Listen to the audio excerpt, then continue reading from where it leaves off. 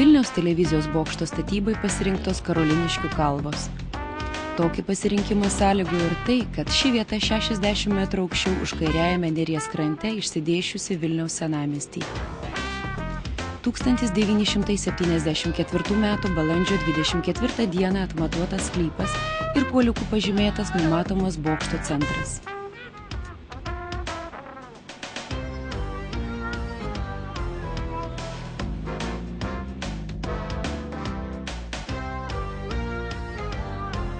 Gegužės 30 diena.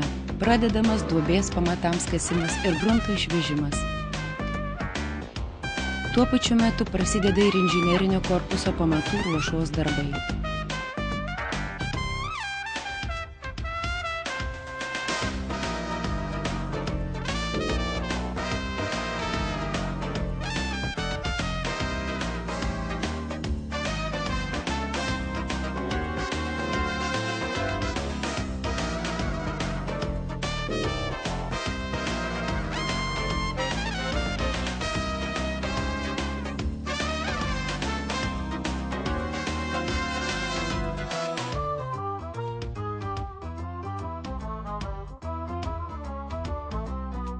ああ。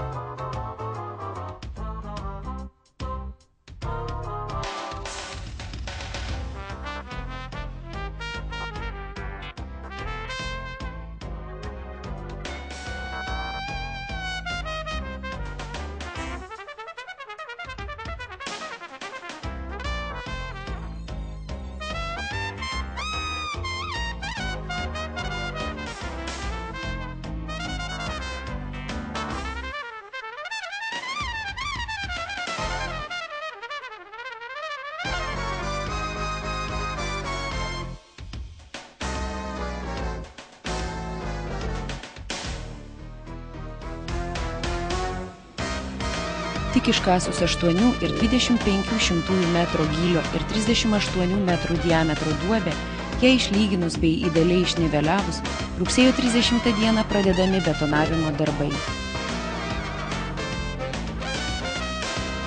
Betonavimas vyksta nenutrūkstamai, nes teko užlieti pusantro dviejų metrų storio betono sluoksnį pamatams, pereinantį į kūginio skerspjūvio bokšto atramenės monolitinės konstrukcijas.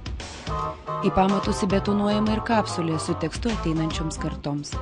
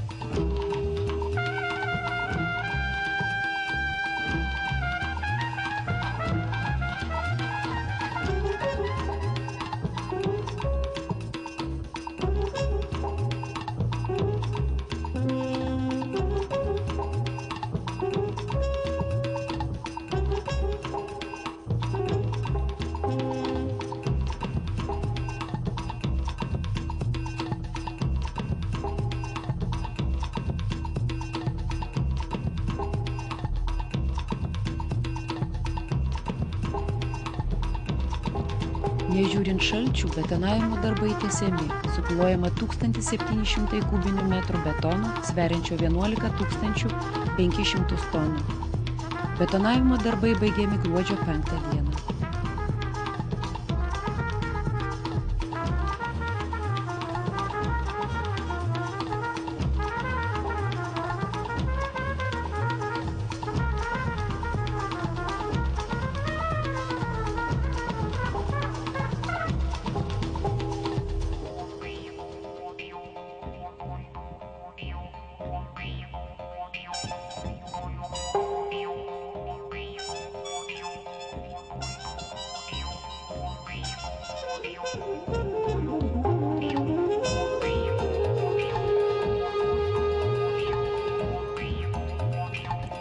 1975 m. pavasarį Talino specializuoto gelžbetoninių konstrukcijų tresto darbuotojai pradeda gelžbetoninio stiebo betonavimą.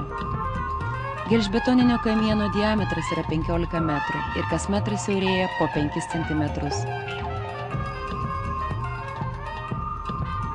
Tai bokšto kamienas siaurėja iki 140 metrų, o toliau iki 190 metrų aukščio bokšto diametras nebekinta ir yra 8 metrai.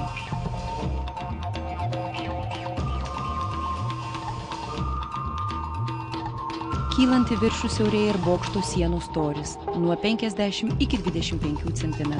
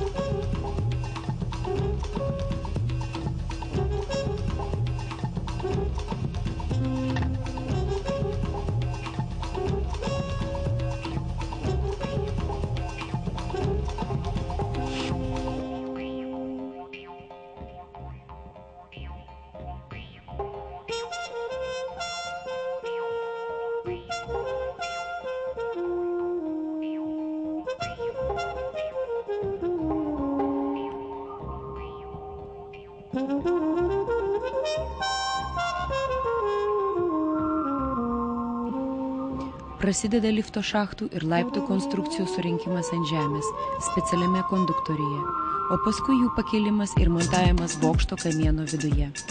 Kas penki metrai įrengiamos aukštų perdangos, montuojami laiptai.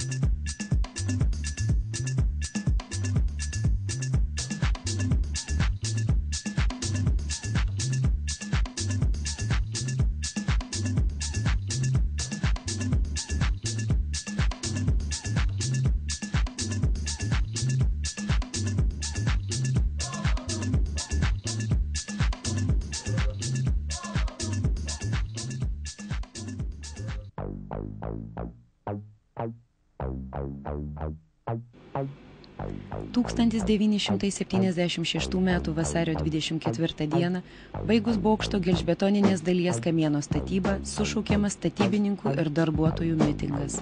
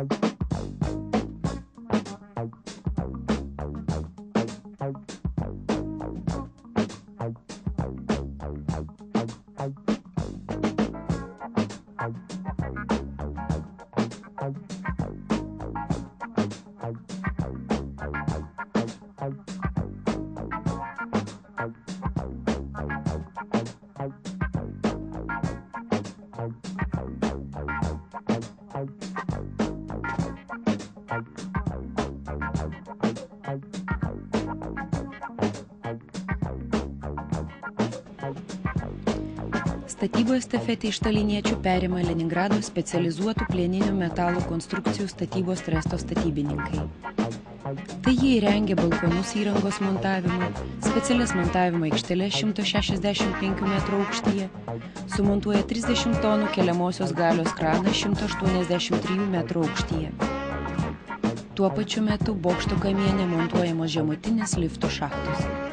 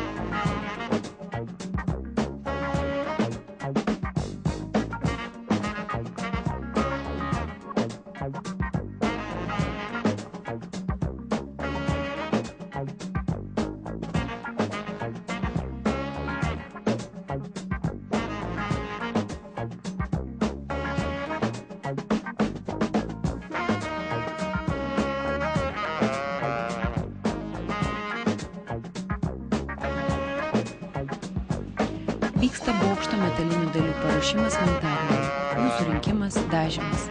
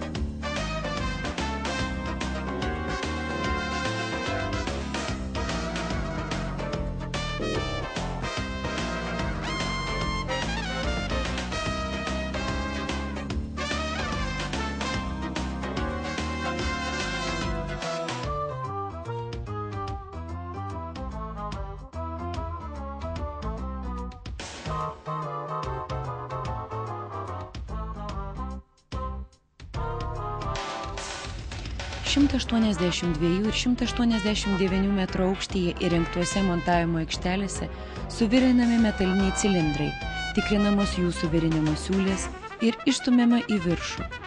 Pirmiausiai pasirodė bokšto pati viršūnė ir toliau stiebėsi auga vis į viršų vis išstumianti dar ir dar vieną šešių metrų ilgio cilindrą jei keturių metrų pločio cilindro sienelių storis dvidešim milimetrų tai cilindrui susiaurėjus iki septyniasdešim dviejų šimtųjų diametro sienelis jau tik dešim milimetrų bokšto viršūnė pasibaigia penkių metrų ilgio ir šimto šešiasdešim trijų milimetrų diametro stiebu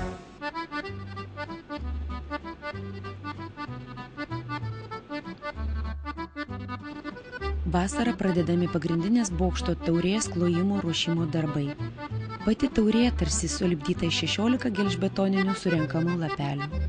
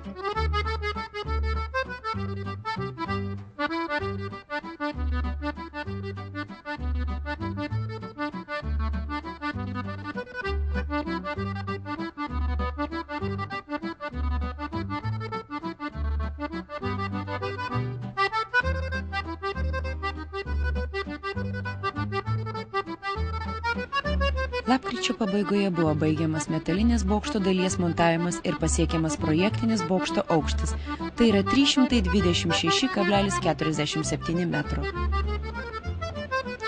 Šių darbų etapų užbaigimas tai dovana spalio revoliucijos 60-mečiui.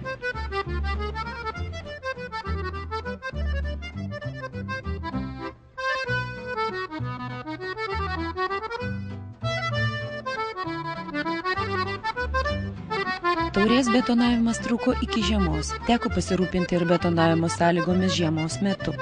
Kiekvienas lapelis tai 25 tonų svorio gelžbetoninė konstrukcija, kurią vėliau teko pakelti į 165 metrų aukštį.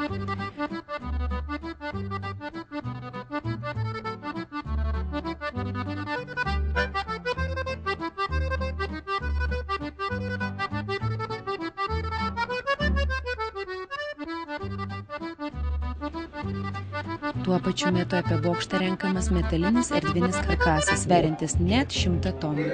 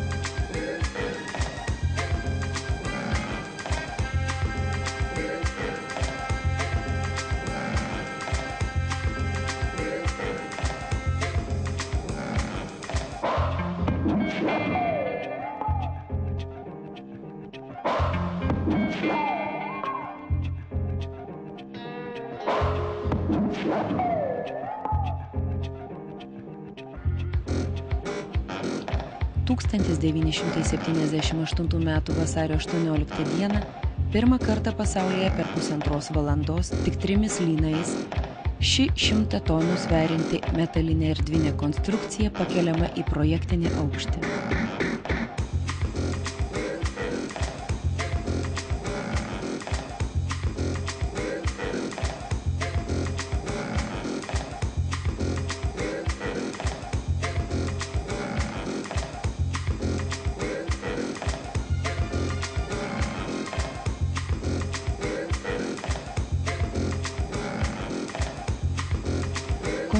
pakabinama ant 16 lynų, kol bus sumontuota gelžbetoninė taurė.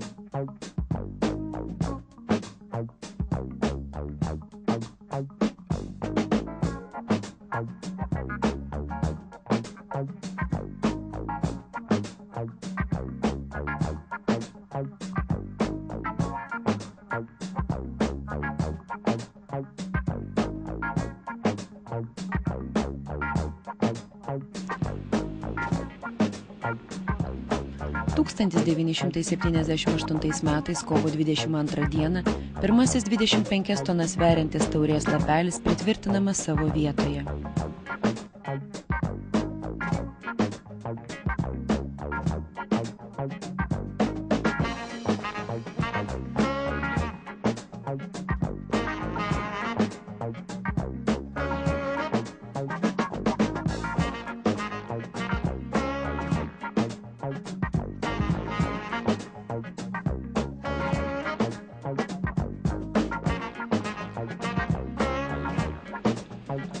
lapelis po lapelio kilo tvirtinami šimtas šešiasdešimties ir šimtas šešiasdešim keturių su puse metro taškuose ir betonuojami.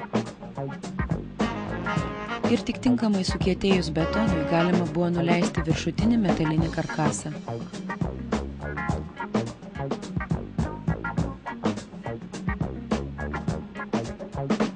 Žavioji taurė yra pagrindinis metalinės konstrukcijos nešantysis elementas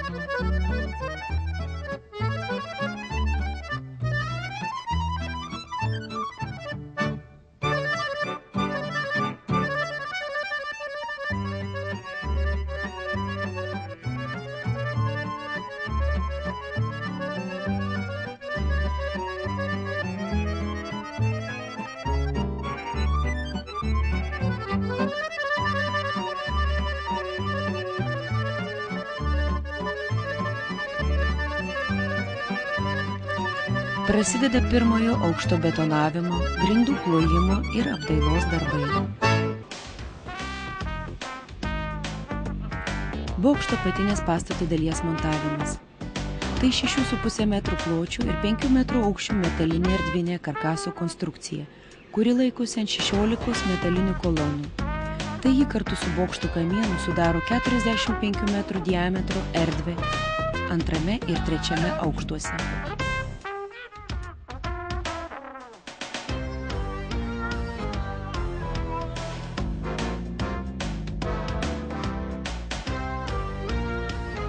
tęsiasi betonavimo darbai šimtas šešiasdešimties šimto aštuoniasdešimties metrų aukštyje.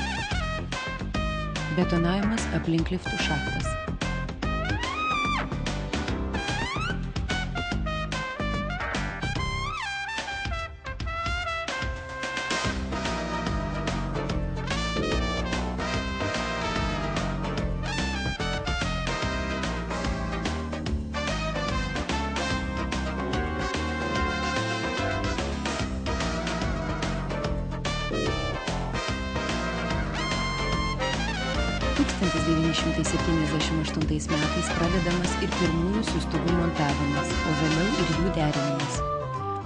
trūko patirties bet entuziazmo tikrai buvo daug.